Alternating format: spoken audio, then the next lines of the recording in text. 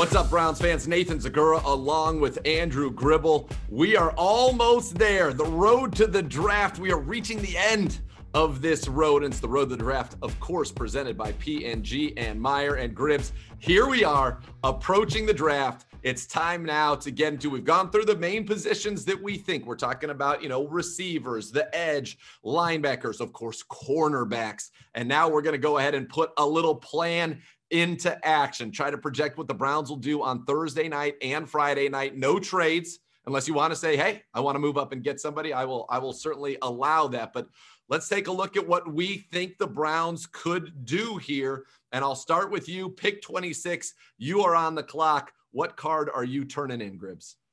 You know, I'm I'm willing it into existence because I, as our guy Dane Brugler told us on BPA, this is a best case scenario. And I, I, think getting Greg Newsome the second out of Northwestern might not happen. I, I, think 26 is his floor, but I'm getting him to the floor at number 26 of the Browns. I just think this is such a, a, a polished corner that can compete right away to help you out, address is probably the biggest need on the defense and gives you this young core of corners that you can really build around a smart player efficient. I'm not worried about the interceptions, the lack of interceptions. That is, I would think this would be a steal for the Browns to get Greg Newsome the second at number 26.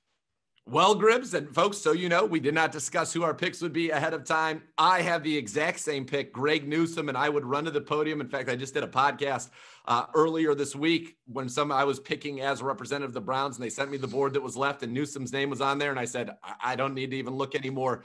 That's what I'm doing.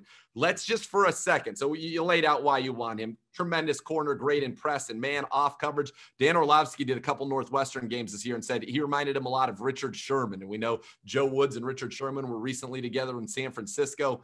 I, think he makes a lot of sense. I mean, last year, 15.7 passer rating against that led the FBS. So very talented.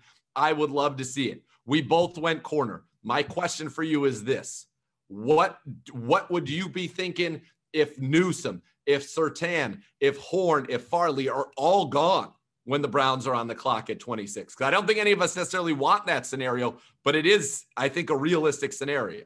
Yeah, I don't, but I I, I would be all right with Asante Samuel as well. I, I like the pedigree. I like that he can potentially be your long term option in the slot. I know you brought in Troy Hill this year, but you know uh, I think you can have a future player in this that could play in the slot and also can help you outside. I mean, this is a deep corner class, and and Asante Samuel might slip to the second round just because there's so many guys there. I would be okay with that. I would also be okay with a potential move back, uh, potentially acquire some some more assets uh, get you in that position. Also, again, we're almost like back to the futuring it. I would be okay with a move up to get your corner that you want in this draft because I think these guys are that good. And I think that the the cornerback position right now for the Browns, both in the future and 2021, you might be one player away from being feeling really good uh, about that group. I, I think to me, you've addressed the edge rusher situation in free agency to the point where I like the developmental guys that are in that edge rusher cluster, but I would prefer to address that position maybe in the second round as opposed to using that first round asset there. Agreed. All right. So you've got Newsome. We both have Greg Newsome. Now we're in the second round, pick 59. Where are you going, Gribbs? I am going to edge rusher, and I think it, it might require parting with potentially both of your fourth round picks to move up to get this done. But I think this is a player that fits what the Browns want to do and can help them out a lot. I'm going with Joe Tryon out of Washington. I don't know if you can wait to 59, but I think you could maybe get him mid second round or say he falls down to you. He didn't play last year, was an opt out player, but I like the size, the, the, the, the future that he has. His coach said, you know, he's just scratched the surface on what he can do. I, I think you're looking for traits, skills, and I think this is a player that fits that and can develop behind the scenes with Clowney, uh, McKinley, Myles Garrett, all in the mix for 2021.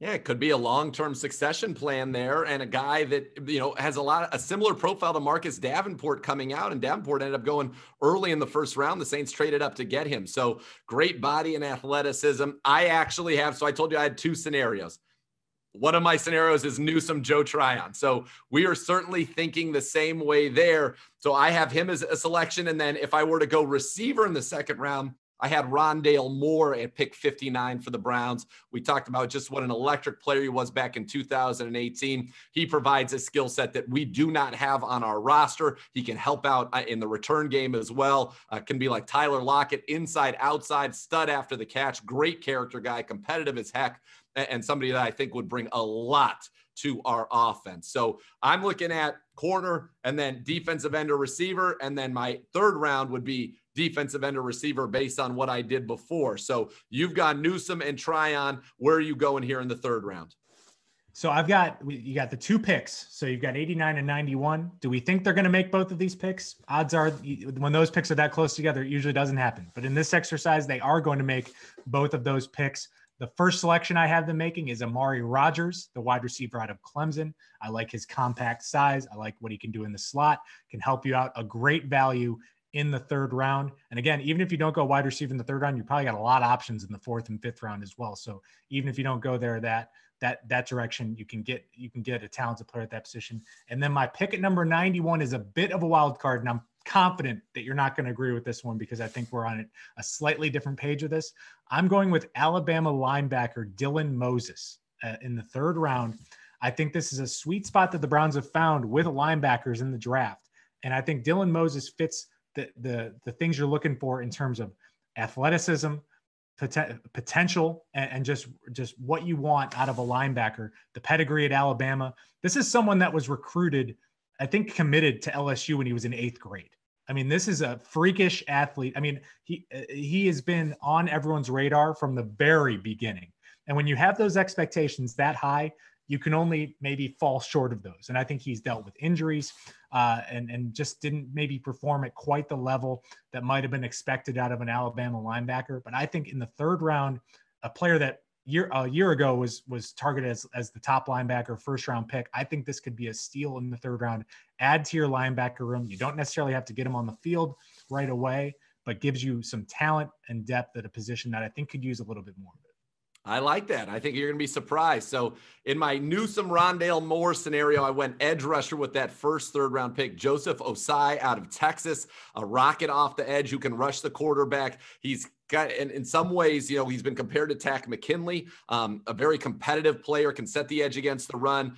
You know, some people say maybe he's more of a three-four stand-up guy. I think we could get him in as a sub-package pass rusher early, and he doesn't need to be on the field, you know, right away. So an interesting guy there in the scenario where I took Tryon in the second round, I gave us Dyami Brown. And now, will Dyami Brown be there at that late in the third round? Probably not. So I'm thinking maybe a move up, take one of those fourth round picks, move up in the third, and get Dyami Brown. But interestingly enough, you know, we've both got corner, edge, receiver in our first three picks. And now I'm going to blow your socks off. I'm taking a linebacker at pick number 91 as well because I thought about Shaun Wade here. And if we get an outside corner early, I could see Shaun Wade being the pick at number 91. I've also seen Shaun Wade going like the 150s in some of these mock drafts where there's a lot of concern about what happened last year. But if I got an outside corner, I'd definitely consider Wade here in the third as a slot for the future because he was very good there two years ago for Ohio State. But I took a linebacker, Chaz Surratt out of North Carolina. He was a college quarterback who converted to linebacker, two time first team All ACC, great in coverage, just a natural understanding of route concepts and zones because he was a quarterback and he's a project. So he's not somebody you have to force on the field, but he's a tackling machine. He could come in and play special teams and create some real competition there, ultimately develop into a long term running buddy for Jacob Phillips and Taki and Mack perhaps down the road. But he also was a great blitzer. And I think it was his understanding as a quarterback that allowed him to really understand protections and exploit them. Six sacks six sacks last year, seven and a half tackles for loss, not to mention four pass breakups and an interception. So I do think that's a sweet spot. Andrew Berry's never been in an organization that's used a pick before the third round on a linebacker. I don't think that changes, but I think that's a nice spot there to get somebody with some real upside that you can ease into this. And if you came out with, you know, Newsome, Moore, Ossai, Surratt, or on the other side, Newsome, Tryon, Dyami Brown, and Surratt, I think you're feeling really, really good about this draft. And yours uh, same was basically the same concept, just different names. Yeah, I think we'll learn a lot about Andrew Berry and, and the Browns' just direction long term with this draft because a lot of these picks are your long term answers at, at, some positions. Because I think, like you said, the roster right now it's good to go for for the 2021 season. I, I just think, yeah, we'll learn a lot philosophically. Uh, the the, the hot the heated debate about linebackers, defensive tackles, how you value uh, these positions. I I even dabbled with going double corner round one and round two. I mean, that's that's where I, I that, and it wouldn't surprise me. I, I, think that that's a position you could really hit hard uh, after a free agent period, free agency period, where you know the numbers add up. You lost more than you gained at, at that position compared to last year. So it, it, it, wouldn't surprise me if you go double corner, uh, and it wouldn't surprise me again. I think the only I, I, I would be le- more surprised now than I was last week if you win edge rusher at, at 26, but not ruling it out because that could be another position where you're loading up for the future. Yeah, I think it's all on the table. And that means that Andrew Berry did a good job kind of establishing this roster headed into this draft to give him that flexibility. And you're right. You could see easily. It's why I mentioned Shaun Wade as an inside guy to pair with an outside guy earlier in the second round. Let's say you get Newsome, you could go Asante Samuel Jr. in the second round. You could go Elijah Molden in the second round, a slot corner out of the Washington. I think it's all on the table. And that's what's exciting. Uh, that, you know, it's great. We've been on this road, it feels like forever this year. The road to the draft. We don't pick till 26, which is a wonderful thing. But I think we are going to learn a lot, and you're going to add some talent and some some real competition. And now all that's left to do is to see what actually happens. The time for speculation is over. It's the time for action Gribbs.